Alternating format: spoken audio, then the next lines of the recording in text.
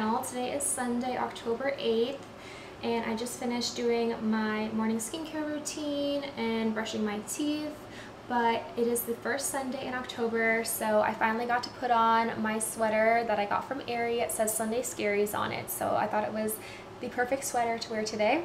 So the plan for today is to clean my apartment. I like to spend my Sundays cleaning and getting everything ready for the next week so that when Monday rolls around I have a fresh start and nothing is weighing heavy on my shoulders. So I'm going to be spending the day cleaning. I also have to do a lot of laundry that's piled up from the week. But yeah, my closet definitely needs to be more organized. Oh, there's just clothes all over the floor and nothing is really organized in there. The closet is still something that I need to tackle. I haven't really got around to doing it yet because it's the last thing that I want to do, but maybe this week I will finally get to doing that. Yeah, there's just a lot that I have to do today. So in order to do that, I need to make myself some coffee. So I'm gonna head to the kitchen and make my coffee.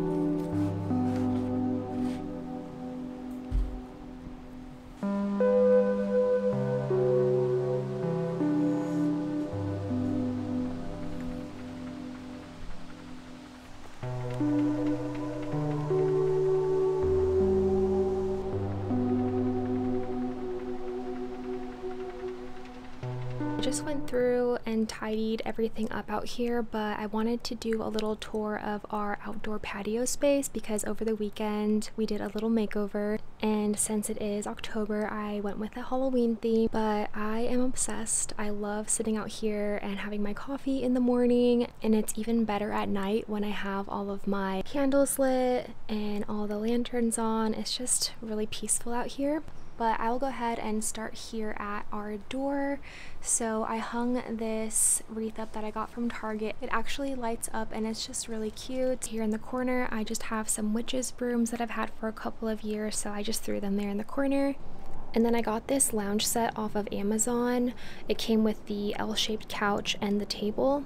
However, it arrived damaged and we had to glue a bunch of pieces together, so that was really frustrating. So hopefully it'll hold up and last while we're here.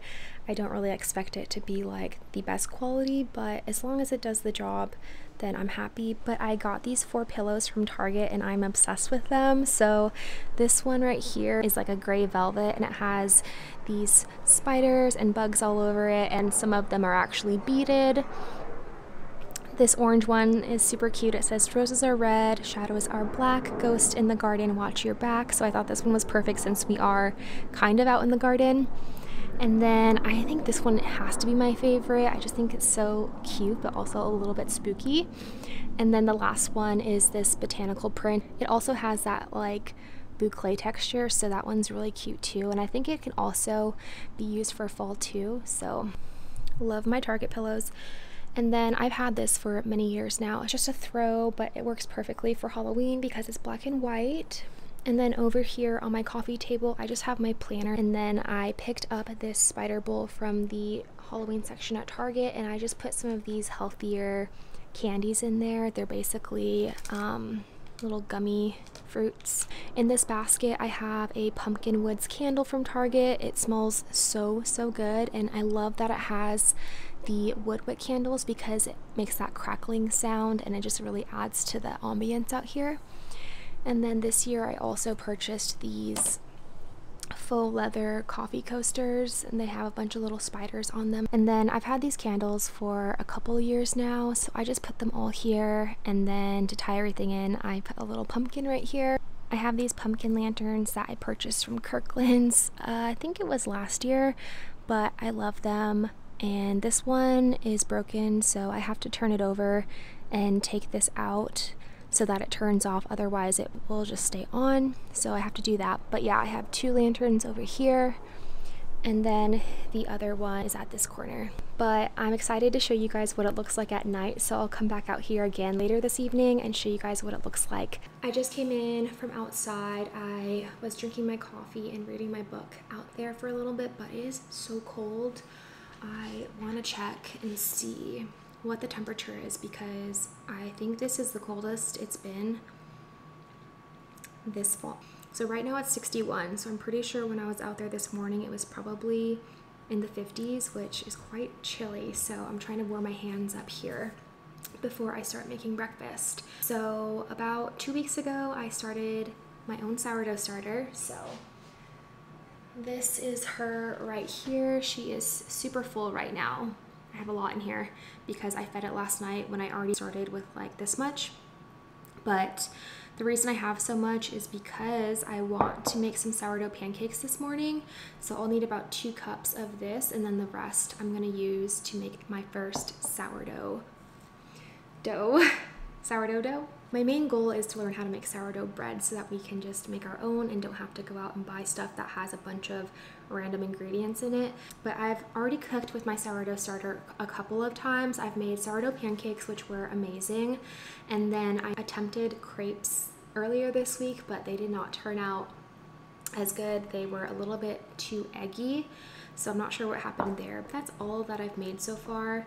My main goal is to make sourdough bread. So we're gonna use a lot of this up this morning to make pancakes, but I think I'll probably serve some eggs on the side for some extra protein. We had bacon last time with the pancakes and that was such a good combo, like the salty and sweet but we don't have any bacon today, so we'll just supplement with eggs. So the recipe that I'm using is by Farmhouse on Boone.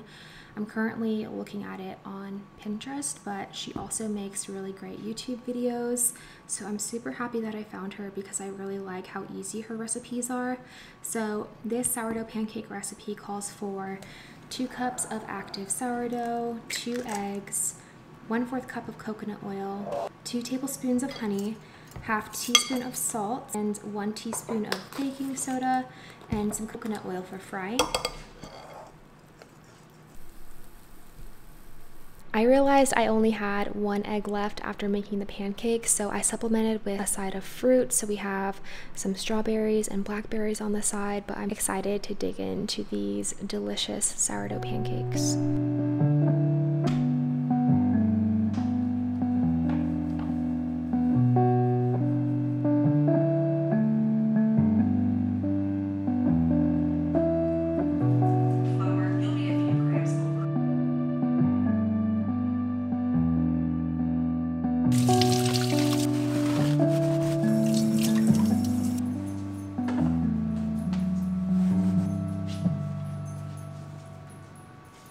So the timer just went off. That means it's been 30 minutes. So I'm gonna go ahead and measure out my sourdough starter and the salt, and then we're gonna add that to the dough mixture here, and then we're gonna allow that to rest in the oven with the light on for another 30 minutes before we start stretching and folding the dough.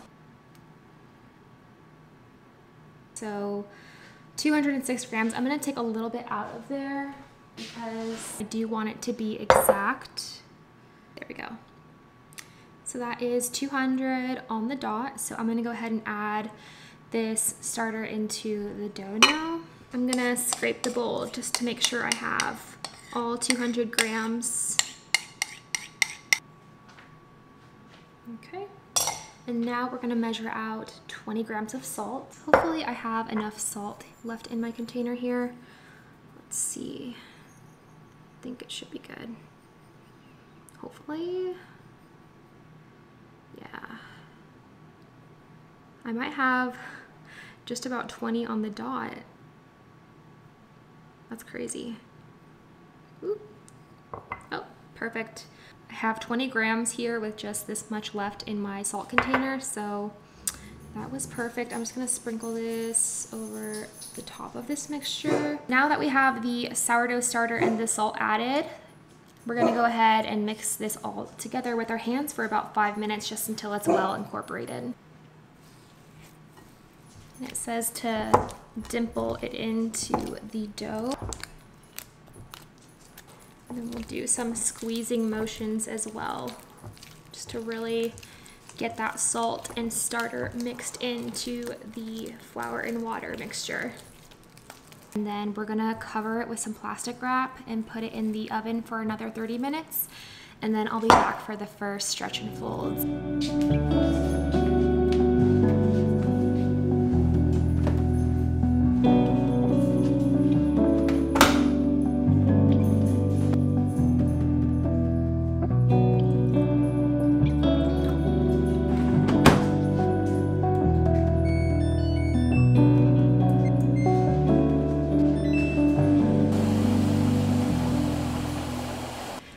So we are now into our second round of stretching and folding. So we are going to do this six times every 15 minutes, but this allows the air bubbles to get into the dough. So we're just gonna fold this about four times. It's already looking so smooth and soft. We'll do one more if we can already getting kind of tight though, so I'm just gonna leave it like that. We're gonna cover it with some plastic wrap and put it back in the oven with the light on. There's no heat on, it's just being stored in the oven for warmth.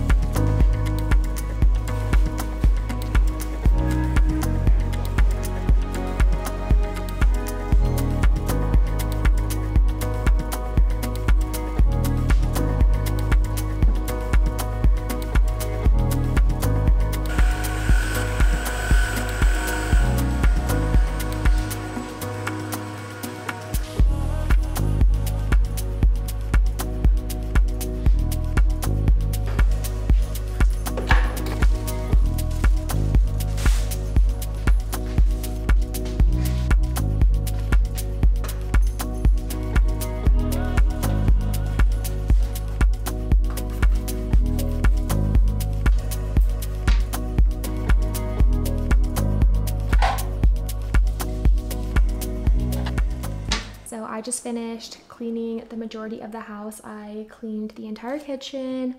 I tidied up the living room and vacuumed the couch, which was much needed because our dogs like to sneak up here sometimes and get hair everywhere. I also cleaned and wiped down both of our bathrooms and I also started doing some laundry. So right now I'm actually washing our bed sheets and I typically like to watch those once a week. I'm also really close to getting my 10k steps for the day and that's just from being inside and cleaning the house all day so that's pretty cool. I didn't have to do any exercise today because today is my rest day from the gym but it is around 5 o'clock now and we're gonna go ahead and take the dogs on a walk in our neighborhood. It is the prettiest day outside so we definitely want to take advantage and get some fresh air. Then when we come back, I'll go ahead and start dinner. So I'm making a new recipe tonight. I'm making cheeseburger bowls. It's just a recipe that I found on Pinterest. It looks really good and simple. The only things I have left to do is vacuum and mop the floors. So I'll do that a little bit later after dinner and everything. Typically, I like to do something for myself on Sundays, so I like to pamper myself a little bit and spend some time on myself. So I may dive in to painting my nails today